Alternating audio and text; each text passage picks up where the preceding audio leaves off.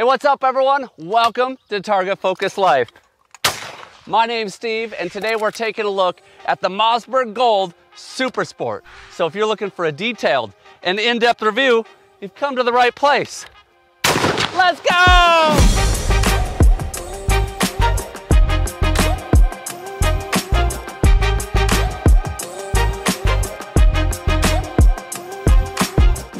Hey guys, when it comes to hearing protection, I say it's always better safe than sorry. You can't go too far. That's why I've been using the Walkers, right? They make awesome muffs. I love these ones. They're cool. They're electronic, so you can hear well. You don't have to yell at people while you're wearing Ear Pro. They got other muffs, a lot of different muffs. They got Bluetooth corded. These are cool. They got wireless Bluetooth was I yelling that whole time? I feel like I was kind of yelling. Wireless Bluetooth in ear. These are what I wear when I shoot. Want to give a huge shout out to Walkers. Keep my ears protected. I got a link and discount code in the description. A lot of great options. Let's get back to the video. So the intended use of the Mossberg Gold Super Sport is just like the name implies, sporting. We're talking clay shooting here. This is not primarily uh, upland hunting gun. You could use it but primarily sporting. One of the cool things about this gun is the MSRP. This gun comes in at 1408 MSRP with a lot of adjustability. And when you look at other guns similar to this that have this type of adjustability, generally you're gonna be in the 2000 plus range. So this comes in as a price point model for someone that's looking for a, a sporting gun with good adjustability that's not gonna be quite as expensive. The Gold Super Sport is in 12 gauge, but if you just go to the base Gold model, which actually has a lower MSRP, the base Gold is 1135. So basically the difference is you don't have the adjustability of the stock. A lot is the same. They also make that in a 410. Uh, they do not have a 20 gauge, in the gold until you get to the black label. Basically, the black label is very similar gun, only it has a black receiver. In fact, I'll be reviewing one of those coming up soon. So the weight of this gun is eight pounds, 8.8 ounces. So it is a heftier gun, but we're talking about a sporting gun, a target gun. It's okay to have that extra weight. It's gonna help you manage recoil, shoot higher volumes. I don't mind the weight as long as it's balanced and proportionate. The length of pull is, as you can see, adjustable. You can go from 13 and a half inches to 15 inches. I have played with this gun a little bit. I got it quickly set up. Looks like 14 and 15 16. So I'm nearly 15 inches here on the length of pull, about got it maxed out. As far as drop, that is also adjustable. Not only do you have the comb that can drop, but you can also adjust the butt pad and slide that so you can have it, make sure it's right into your shoulder. Uh, a lot of adjustability on this. I like it. You can toe out as well with these two pegs. You can loosen those and cant it. It wasn't necessarily the most intuitive gun to adjust the stock, but the fact is you have quite a bit of adjustability. A lot to like about that. When we look at the drop, I have a longer neck, longer face. So like our drop at the peak is about an inch and a quarter, and we're about an inch and a half at the face and about an inch and three quarter at the end of the comb. So that's set up for me. That works well. A big thing I'm talking about now in reviews is making sure a gun can adjust to fit you well because you can have a great gun with all sorts of cool features, but if it doesn't fit you well, it's going to be a struggle. Uh, we've made some fitting videos to help you understand the elements of gun fit. I got fitted by Dell Whitman. We made a video of that. So check those out. You can kind of understand more about the elements, the principles of shotgun fitting. Now this gun does come with five extended chokes, all color coded. That's cool. But we've already went ahead and switched out for some Carlson Sporting Clay chokes. I do have a link to those in the description with a discount code. This gun has a 30 inch barrel. I believe that is the only option in the Super Sport. The gold, uh, the regular gold model, I think has some different barrel configurations. Okay, enough specs. Let's look at the ergonomics of this gun. We're looking at the, the form, the function, the feel. First thing I noticed when I grabbed this gun is it does have a right-handed palm swell. I can feel that. I like a nice palm swell on a sporting gun for sure. The fore end is very basic. It does have some grooves up here in front to kind of wrap your hands around. I like to point my finger. Seems like this gun will allow that. Maybe not quite how I would like. I have to get my thumb up on this top ridge. The checkering is not very aggressive, which is probably okay on this type of gun.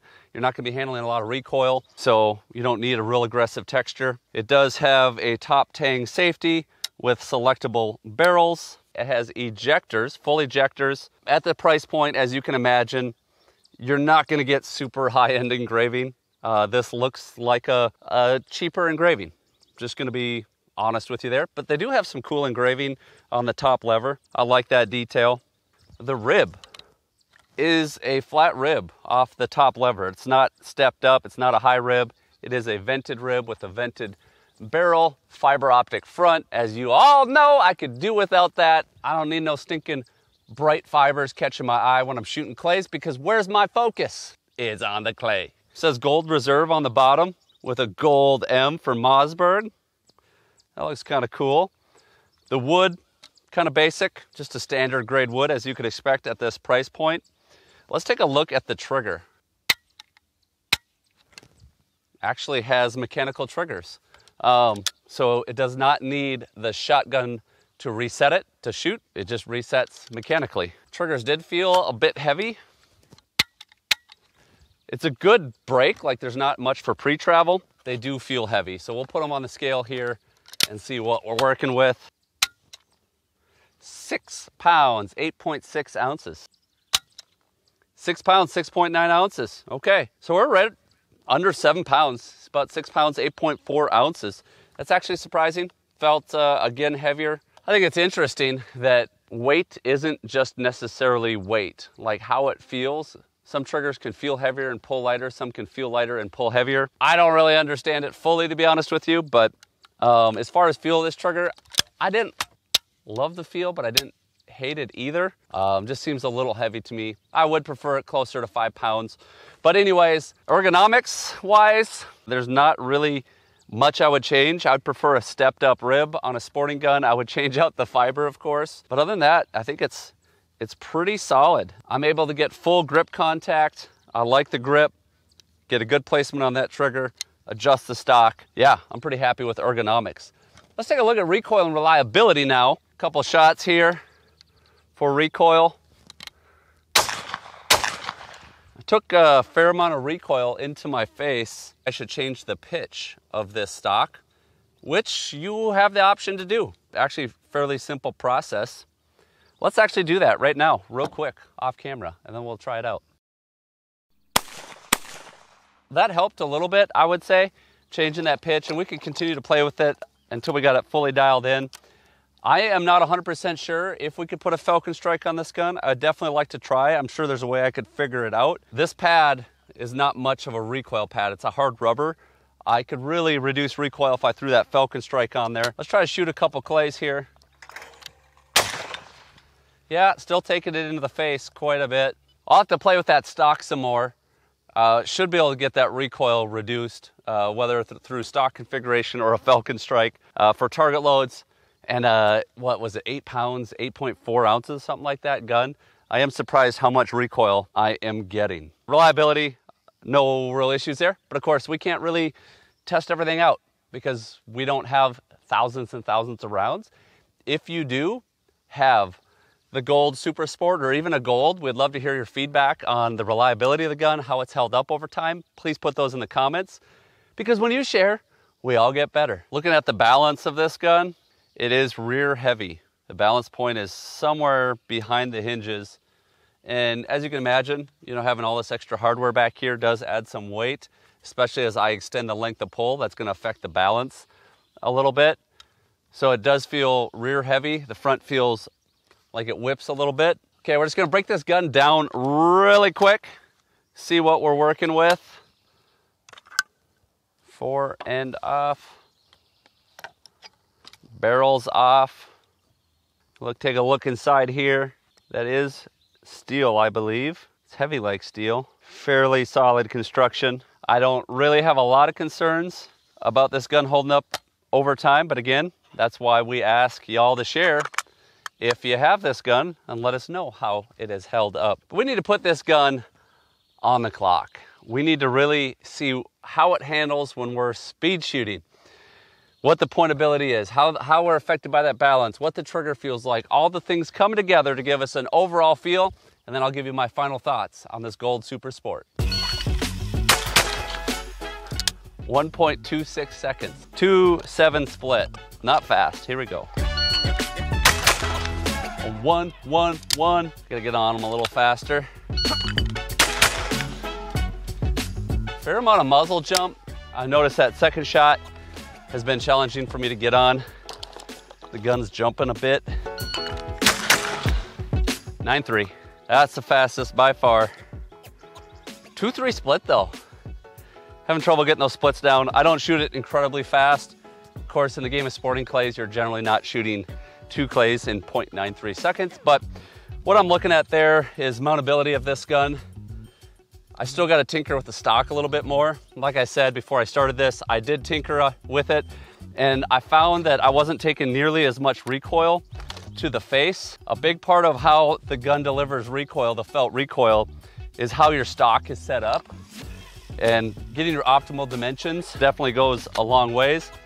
Let me shoot one clay off the machine here. Yeah, it's not perfect, but it's a lot better than it was. Overall, I enjoyed this gun. Recoil was something that was a little bit concerning for how heavy the gun was and having these dimensions kind of roughly set up for me. Still experienced quite a bit of recoil. I'll play with it some more to get the stock figured out. The trigger was probably the low light.